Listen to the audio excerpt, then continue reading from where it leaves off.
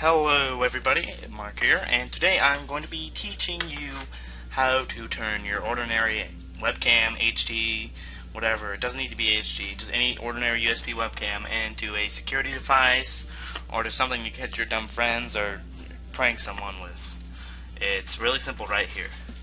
Alright, for first, you're just going to want to have your webcam, have it plugged in, all set up, all ready to go. Can test out with whatever, or you can test with this and you're going to go to this website. The link will be in the description. You're just going to click on this link. It'll take you here, and you're going to click download now. You'll download it, and you're going to download it and all that. And then, you know, you save, no download, click here. You guys know how to download stuff. You download it and install it. Now, you can pause the video, pause the video now, and when you get back here, to have this, Dorgem. Dorgem right here. This is what you're installing. Dorgem, you got it on CNET. You're going to double click, open it up, and here's what you're going to have.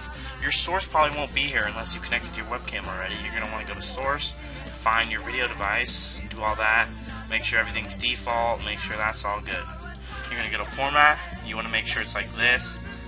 That's 640 by 480. That's a good resolution. And now, depending on how big you want your file sizes for your photos, and whatnot. Uh, 100. I'm going 100 because I, I have a terabyte of hard drive, so that really doesn't matter. But if you want smaller, you're going to take a ton of photos, put it down to 50 or whatever, and then it'll make it smaller. And you're going to click preview. You can see your webcam. Here I am. Hi. That's the preview. This is what your webcam will be looking at. Then you're going to caption that. You don't need captions like if you want something to show up on every photo, like watermark. And you can do that if you wanted to. But what you're going to want to click File. This is how it's going to be stored you're going to name this, I'm going to name this tutorial, and how often you want the interval. I'm going to pick one second, because I really don't mind. Then you're going to want to pick a file name, and see this is where your Dorgem photos will go into. Now you don't, uh, what you're going to want to do is you're going to want to type, uh, let's just put Dorgem photos, and then if you put G, capital G, percent, a little g, percent, that's going to make it in military time so you know when the photo was taken. Pretty simple right there. And that looks all good, and then you just click OK, and then now you have that, and that should be your selected. So then you can click that, and that'll take a manual picture. But if you want it, this will motion sense, and if you go into your options, you should have, if motion detection is not on, you definitely want motion detection on.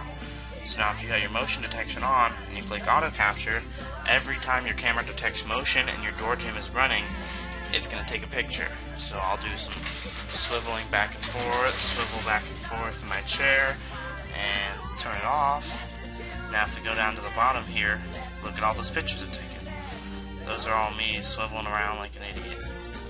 So here you have it. Uh, this is simple webcam security. Uh, thank you guys. Please like and subscribe for more. See you.